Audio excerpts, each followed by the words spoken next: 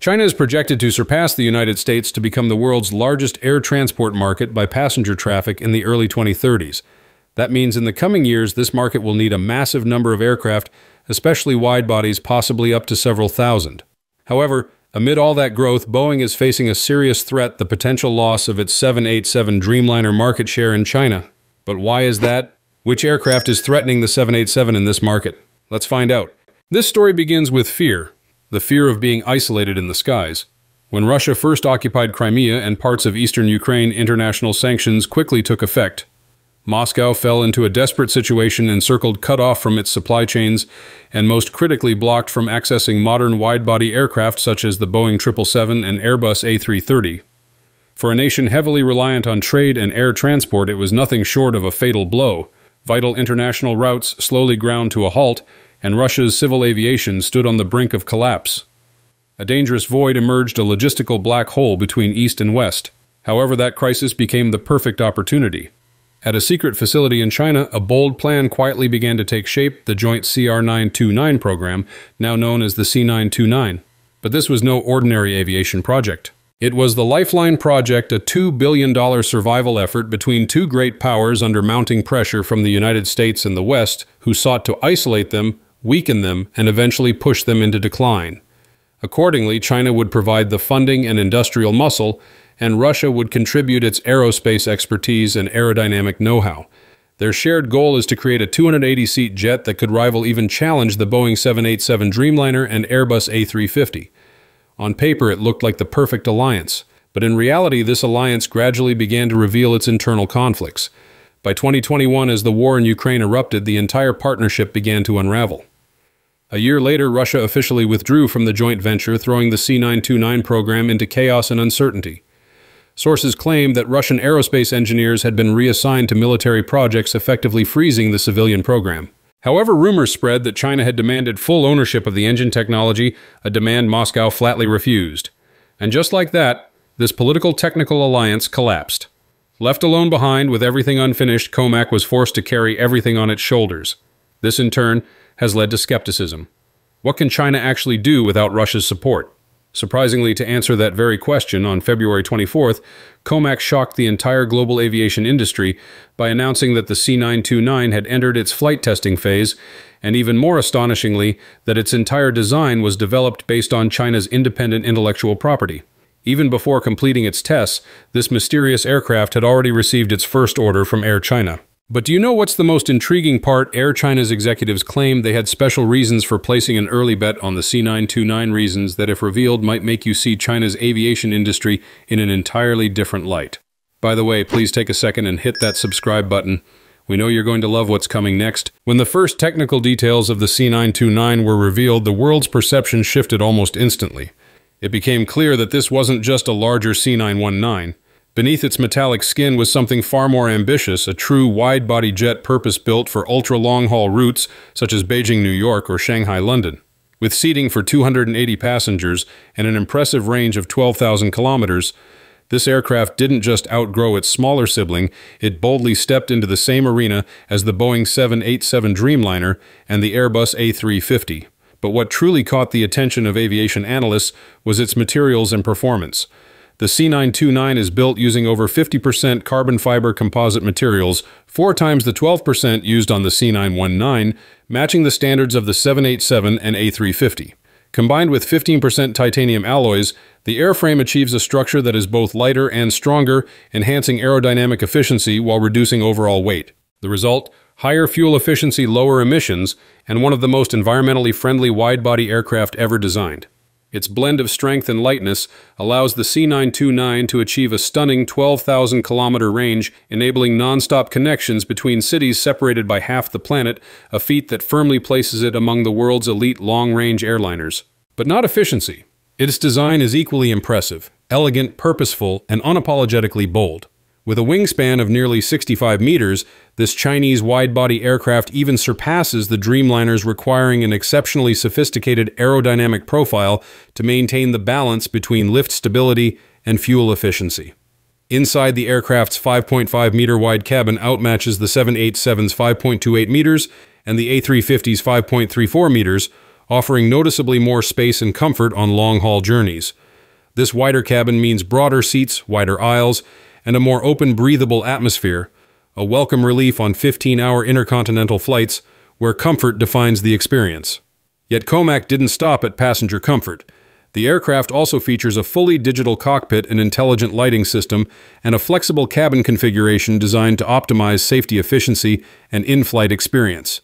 Even its manufacturing process is a technological marvel over two. Two million individual components, three 500 completed test assemblies, and a real-time health monitoring system capable of diagnosing malfunctions mid-flight, a feature still missing from many Western aircraft today. Taken together, these innovations make the C929 far more than just another airplane. It is a statement, a declaration from China's aviation industry that it has entered a new era. A symbol of pride, ambition, and technological confidence, and a clear message to the world Shanghai is ready to compete head-to-head with the aerospace giants of the West. Indeed, beyond its technological excellence, Air China underscored the aircraft's strategic and patriotic significance when it became the launch customer. Air China is the only national flag carrier of China, and adopting a domestically produced wide-body aircraft represents both our responsibility and our commitment to that role the airline stated. By integrating the wide-body jetliner into its fleet air, China isn't just taking a step toward becoming a world-class airline, it's helping to drive China's broader goal of high-quality, self-reliant growth in aviation. In many ways, the C929 isn't merely an airplane, it's China's bold challenge to the skies. Despite its remarkable progress, the C929 continues to face skepticism. Can it truly be called a made-in-China aircraft? That skepticism isn't unfounded. While Comac has long emphasized self-reliance and technological independence, the reality is far more complex. According to recent reports, this ambitious wide-body jet continues to rely heavily on Western technology. As noted by the South China Morning Post, Comac has signed multiple agreements with foreign suppliers, including a partnership with France's Safran, to co-develop critical systems such as braking and oxygen control, as well as contracts with the U.S.-based Crane Aerospace and Electronics for cabin door sensors. In fact, of the nine key avionics suppliers, only four are Chinese, with the rest coming from overseas. On one hand, this dependency offers clear short-term advantages. By integrating proven Western components, Comac can enhance reliability, speed up development, and align with international safety standards, all essential for earning certification from EASA and the FAA, and for building credibility with global airlines. Yet the other side of this reliance tells a more troubling story. The experience with the C919 serves as a warning dependence on Western systems, leaves the Chinese aircraft vulnerable to geopolitical pressures and export sanctions, placing its fate partly in foreign hands. A single policy shift or trade restriction could disrupt production delay deliveries and undermine Shanghai's message of technological sovereignty, the very narrative Comac has worked tirelessly to change. More importantly, without full intellectual property ownership of its core systems, the aircraft cannot truly be considered a completely Chinese aircraft. Instead, it stands as a hybrid part Chinese, part Western. Worse still, it risks being perceived as merely a derivative of Western designs, much like the C919 once was. So while the C929 represents China's rising ambition in global aviation, the road toward genuine independence and toward Shanghai's dream of becoming a true aerospace powerhouse remains long uncertain and fraught with challenges. But all those doubts may soon vanish, and here's why. In one bold stroke and a revolutionary twist forward, Comac has effectively silenced concerns about its reliance on Western components. For years, that dependence was the fatal flaw of Shanghai's aerospace dream. When Western nations tightened export controls, they choked the supply of vital parts for the C919, a jet that was 60% domestically made but still powered by an American-French engine. Yet with the C929, Shanghai has made a game-changing move to eliminate that vulnerability once and for all, taking command of every critical technology from the airframe to the core of the power itself, the engine. The core of the power is the CJ2000 China's first homegrown high-bypass turbofan engine and a breathtaking symbol of technological awakening. This is far more than a replacement for a Western design. It's a declaration of capability engineered to rival and possibly surpass the world's greatest engines. Originally conceived for the C919, but delayed over stability and certification challenges, the CJ2000 now returns with renewed mission aboard the C929. Its flight tests are slated for 2029. If these trials succeed, Shanghai will cross a historic threshold achieving full independence from Western propulsion technology, a feat that even Japan and Russia have long sought but hard or never fully attained. Technically, the CJ-2000 is a marvel of modern engineering. It produces up to 35 tons of thrust on par with giants like the Rolls-Royce Trent 1000 and General Electric GEnx while delivering extraordinary efficiency. Its use of next-generation materials and advanced cooling systems enables hotter operating temperatures and lower fuel burn, achieving a 5 to 7% fuel efficiency gain over its Western rivals. For airlines, that means lower operating costs. For passengers, it means a quieter, smoother, cleaner ride across oceans. Physically, the CJ2000 is colossal with a 3-meter fan diameter and a total height of 4.55 meters. It even exceeds the mighty 33-ton GEnx that powers Boeing's 787 Dreamliner. Its composite fan blades and innovative noise reduction design make it not just powerful, but whisper quiet, dramatically reducing cabin noise and vibration. And that's not all.